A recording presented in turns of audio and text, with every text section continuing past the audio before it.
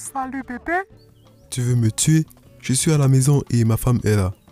Ok, je voulais juste entendre ta voix et te rappeler pour mon sac que tu m'avais promis. Ok, ok, ok, j'ai suivi ton sac à main.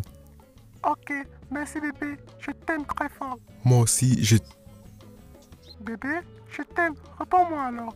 Ok, ok, j'ai compris monsieur. Toi aussi, tu crois? Allez, termine ta phrase.